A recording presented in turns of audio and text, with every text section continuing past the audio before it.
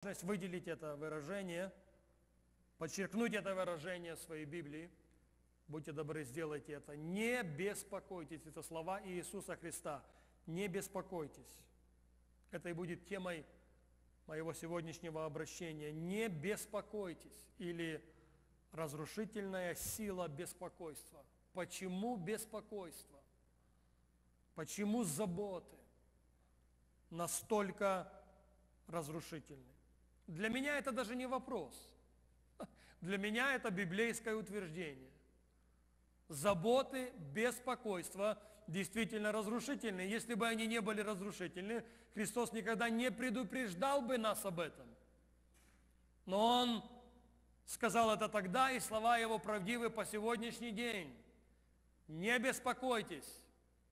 Я постараюсь в следующих несколько минут – ответить на этот вопрос. Почему беспокойство, почему заботы настолько разрушительны? Вот с чего я хотел бы начать. Я очень сильно верю в принцип семи недель.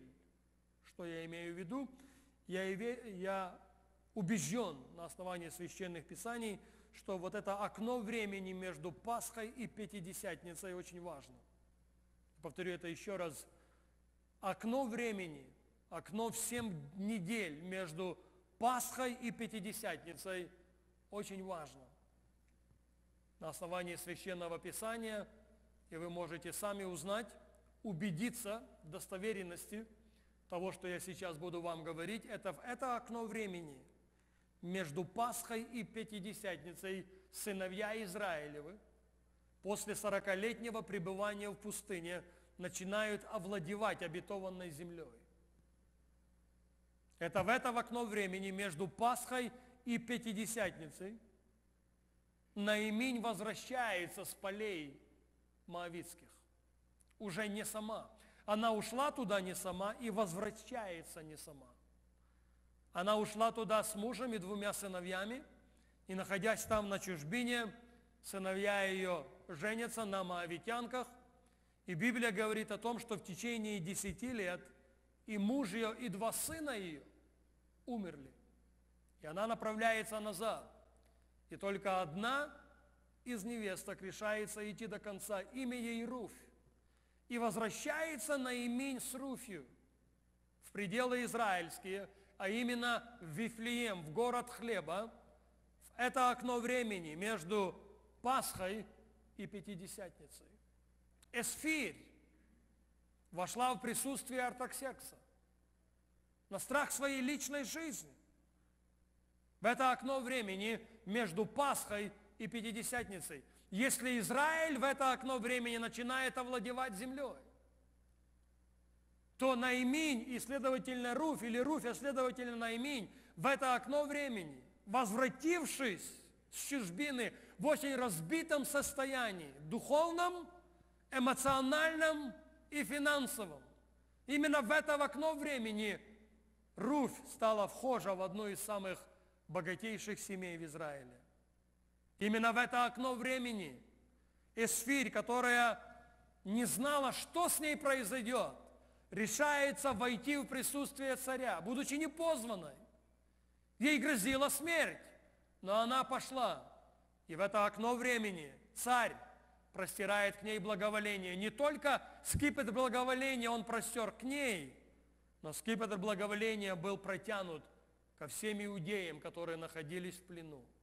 И читающие Библию знают, что произошло. Я почувствовал сильное побуждение вскоре после того, как мы отпраздновали праздник Пасхи, праздник Светлого Воскресения Христова, говорить о душе, говорить о целостности наших душ.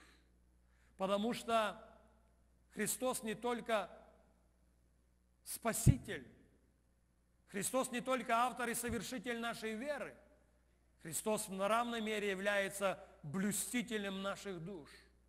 И я думаю, если вы спрашиваете у меня, что теология или учение, которое превозносит или дает преимущество духу, оно библейски не обосновано. Бог сотворил нас и сотворил нас такими, какими мы есть, не случайно. И в нашем следовании за Богом и дух важен – и душа важна, и тело важно. Вот почему апостол Павел, послание к фессалоникийцам, молится о том, чтобы и дух, и душа, и тело были сохранены без порока в пришествии Господа нашего Иисуса Христа. Знаете, не имеет значения, сколько у человека откровений. Не имеет значения глубина его познания Бога и близость его хождения с Богом, если его тело не может быть носителем его призвания, он или она, или они далеко не окажутся. Библия говорит, как блаженный, как благословенны ноги благовествующих мир. Нет, не дух. Как благословенны ноги. Потому что для того, чтобы послание было озвучено, кто-то должен иметь физическую силу его озвучить. Кто-то должен иметь физическую силу, чтобы куда-то пойти. Поэтому в нашем следовании за Богом не только дух важен, целостность нашей души очень важна.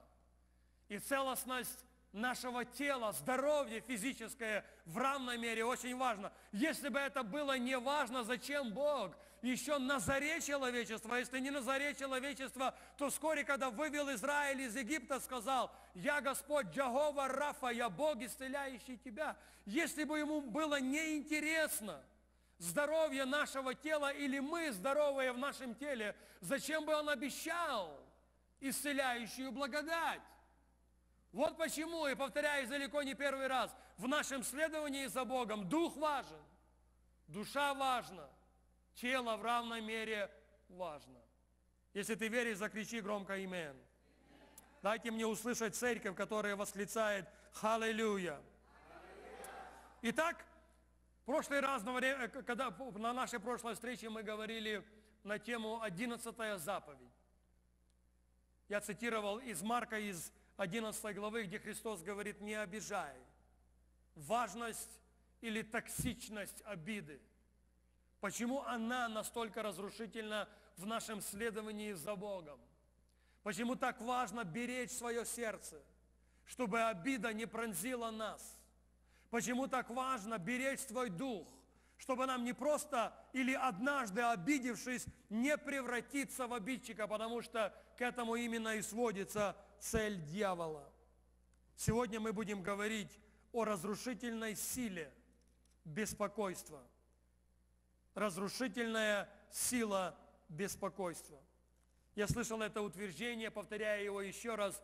Искупленный дух бесцелостной души – это дорожная карта для плотского христианства. Я повторю это еще раз. Искупленный дух бесцелостной души – это дорожная карта к плотскому христианству. Что есть целостная душа? Это обновленный разум, это исцеленные эмоции, это сильная воля. Вот почему в этом доме, вот почему в этом служении мы уделяем целостности души очень большое внимание. Итак, начнем отвечать на вопрос, почему беспокойство, почему заботы настолько разрушительны. Почему Христос предупреждает нас об этом? Во-первых, если вы, если вы конспектируете, можете записать. Никакое количество забот, никакое количество беспокойства, лучше сказать, никакое количество дней, недель, месяцев, проведенных в беспокойстве, никакое количество часов, дней, недель, лет, проведенных в заботах, не решает проблемы. Если кто-то своей заботой решил проблемы, после служения подойдите ко мне и подскажите, как это у вас произошло. Никакое количество часов, никакое количество дней, никакое количество недель, месяцев и даже лет, проведенных в беспокойстве проведенных в заботе, не способна решить даже самую маленькую проблему.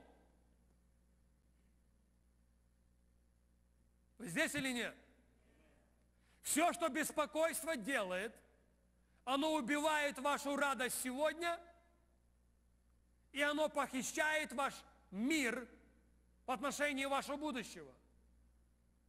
Все, на что заботы и беспокойство способны, это убить вашу радость сегодня,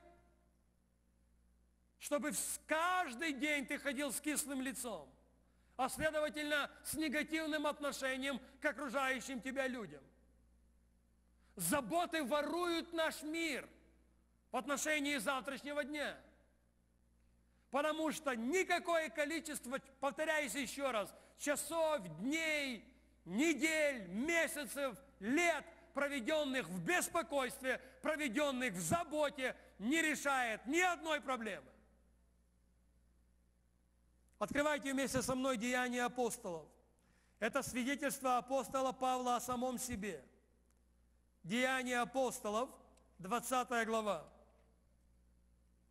Если кому-то надо было беспокоиться, если кому-то надо было переживать, то это он. Но он напрочь отказывается от этого. Деяния апостолов, 20 глава.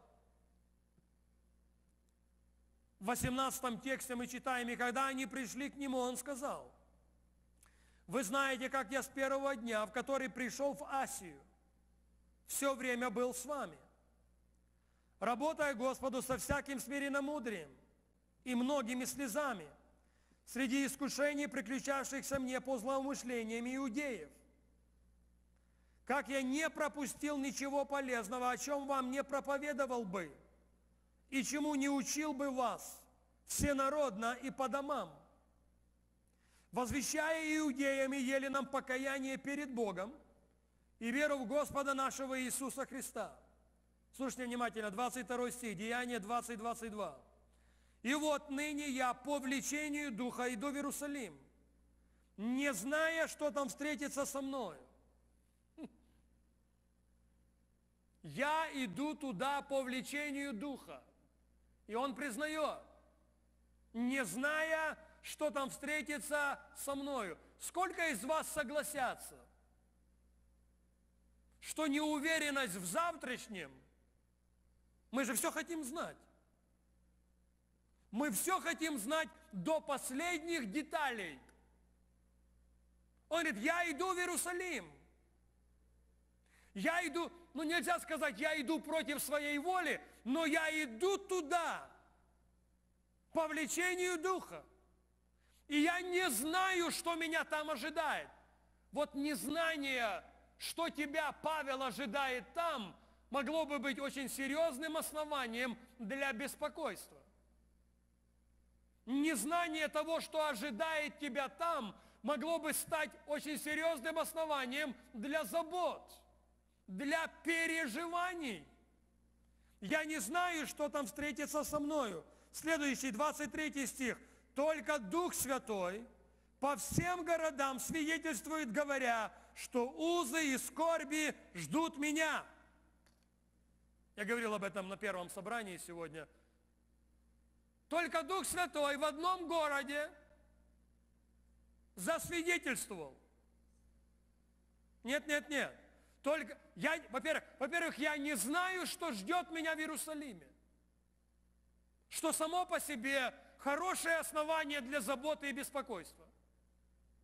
Только в какой бы город я не пришел, где бы я ни оказался, по многим городам, в многих городах, Бог использует людей, которые пророчествуют мне, что там, в Иерусалиме, куда я направляюсь по влечению Духа, узы и скорби ждут меня. Это не просто один какой-то пророк выскочил в каком-то городке, это периферийная церковь. А говорит Господь, узы и скорби, узы и скорби. Какой бы город он ни вошел, узы и скорби так сильно отличаются от современных американских пророков.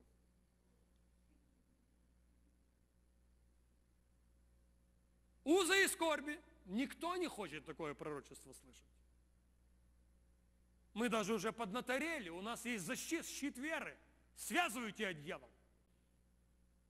Павел никого не связывал, никого не называл, лживым пророческим духом. Но в какой бы город ни вошел, тук-тук, узы и скорби. Тук-тук, узы и скорби. Почему я об этом говорю? Потому что, мало того, что он стоял на пороге неизвестного, что могло бы стать причиной, основанием для беспокойства.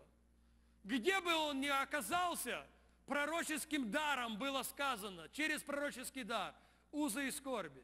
Переживай. Волнуйся. Если хочешь, истерики заказывай, закатывай. Но он продолжает, и я предлагаю этот стих вам. Но я ни на что не взираю и не дорожу своей жизнью, только бы с радостью совершить поприще и служение, которое я принял от Господа Иисуса, проповедовать Евангелие благодати Божией. Я ни на что не взираю. Мое незнание моего будущего – это не платформа, это не основание для беспокойства. Пророческие речи, которые я слышу в свой адрес, это не основание для беспокойства. Один за одним пророки говорят мне, что узы и скорби меня ждут. Меня, я не взираю на это. Это не колеблет поснование под моими ногами. Потому что мое желание, слушайте внимательно, я хочу, я стремлюсь к тому, чтобы мне с радостью, даже не в вере почему-то, но чтобы мне с радостью исполнить свое служение. Почему? Потому что радость – это оружие, которое, которым мы сможем отодвинуть, которым мы сможем оттолкнуть, которым мы сможем противостать заботам и беспокойству. Радость перед Господом – это сила наша. Я не взираю ни на что. Я не позволяю, чтобы моя, мое незнание будущего, завтрашнего дня стало основанием для моего беспокойства. Беспокойство разрушительно. И я с радостью хочу пробежать то поприще, которое самим Богом предназначено для меня.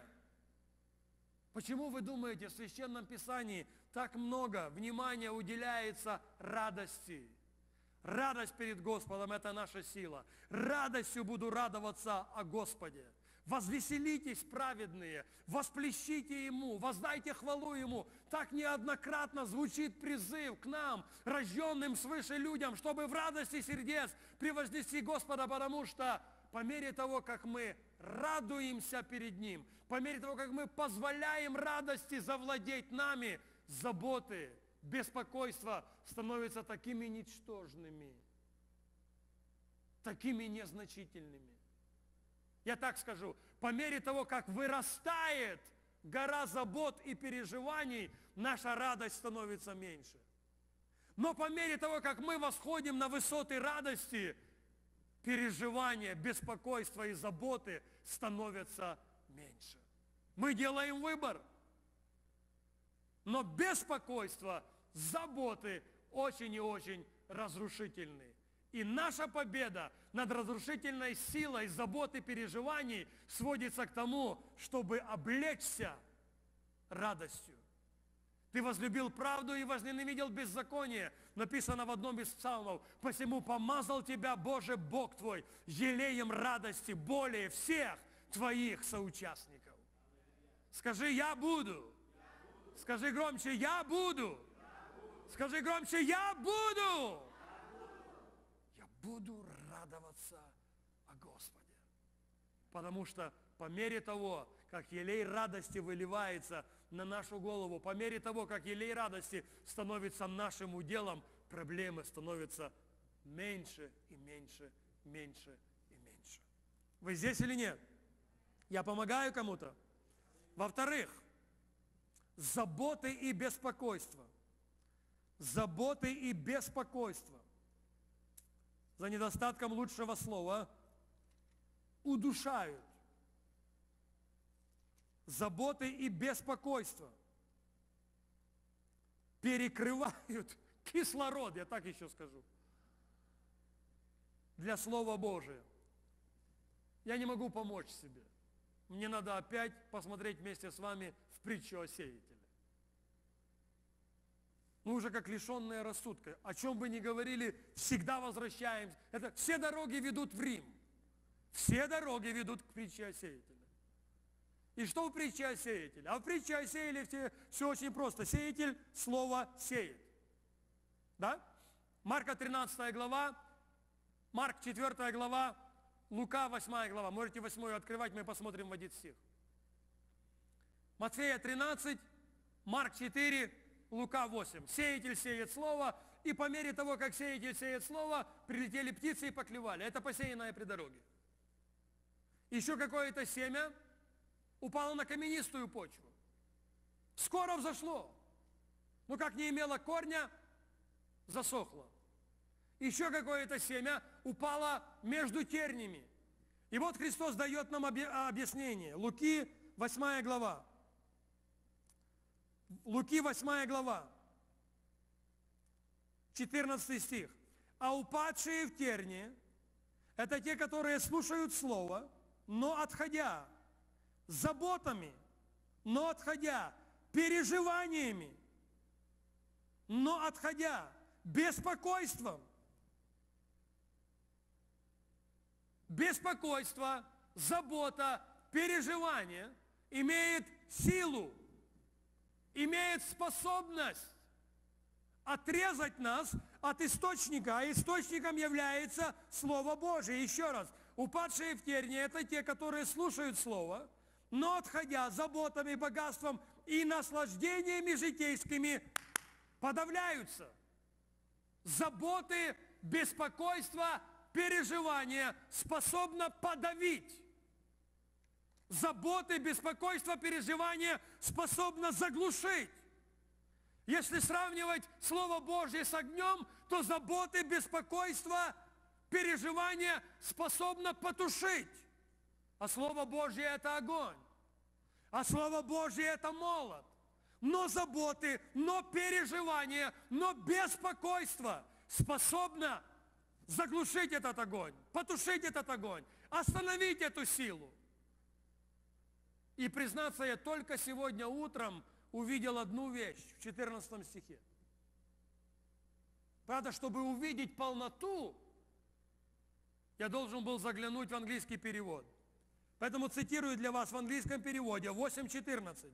Упадшие в тернии – это те, которые слушают Слово, надходя заботами, беспокойством, переживаниями, богатством, наслаждениями житейскими, подавляются, заглушаются – и не приносят плода. Это русский перевод, английский говорит.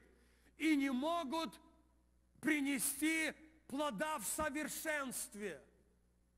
Не могут принести созревшего плода. В жизни этих людей нельзя сказать, что плода нету. Он просто несовершенный. Вот виноград, от которого... Как она? Яблоко, которое как бы плод есть. Нельзя сказать, что плода нету, но он незрелый. Заботы, беспокойство, переживания не дают нам возможности стать зрелыми, как по мне, настоящими христианами. Есть что-то 50-50. Немножко христианин, немножко нехрист. Немножко хороший, немножко так себе. Немножко милый, немножко не милый. Почему? Заботы. Почему беспокойство? Почему переживания не дают последователю Иисуса Христа, слушающему Слово, принести плод, целостный плод? Используется в английском переводе maturity. Они не могут принести созревшего плода. Он как бы есть, но его нету. Радость как бы есть, но она несовершенная. Любовь как бы есть, терпение как бы есть, сострадание как бы есть, Нельзя сказать, что нету, но не доведен плод, не созрел полностью. Нету целостности. Знаете, почему нету? Потому что есть переживание, потому что есть забота, потому что есть беспокойство. Теперь для нас становится понятным заявление Иисуса Христа. Не беспокойтесь, потому что беспокойством не решаются проблемы. Беспокойство убивает нашу радость сегодня и лишает нас мира в отношении будущего. Не беспокойтесь, потому что по мере того, как беспокойство наполняет ваше сердце, наполняет ваш дух, ваше хождение в Боге не может быть зрелым. Я так подозреваю, что львиная доля последователей Иисуса Христа – это сегодня незрелые духовно люди, потому что позволяют беспокойству, позволяют заботам, позволяют обеспокоенности наполнить их сердце, и в результате их хождение с Богом не такое, каким бы сам Бог хотел его видеть. Вы здесь или нет? Если вы принимаете что-то, закричите «Аллилуйя».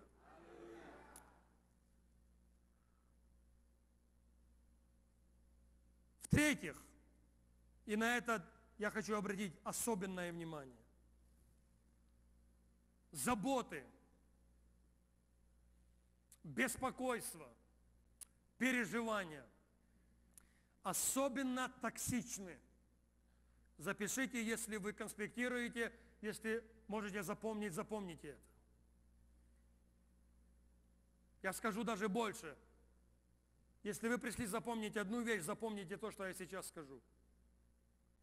Заботы, беспокойство, переживания по-особенному токсичны для атмосферы чудес, знамений и сверхъестественного в целом. Я повторю это еще раз. Заботы, переживания, беспокойство по-особенному токсичны, особенно разрушительны в атмосфере чудес, знамений и сверхъестественного в целом. Вы, может быть, удивитесь тому, что я скажу следующее. Через все священные писания, от книги Бытия до книги Откровения, золотой ниточкой прописан один принцип. Никогда чудеса не происходили там, где была истерика, там, где было беспокойство, там, где были заботы.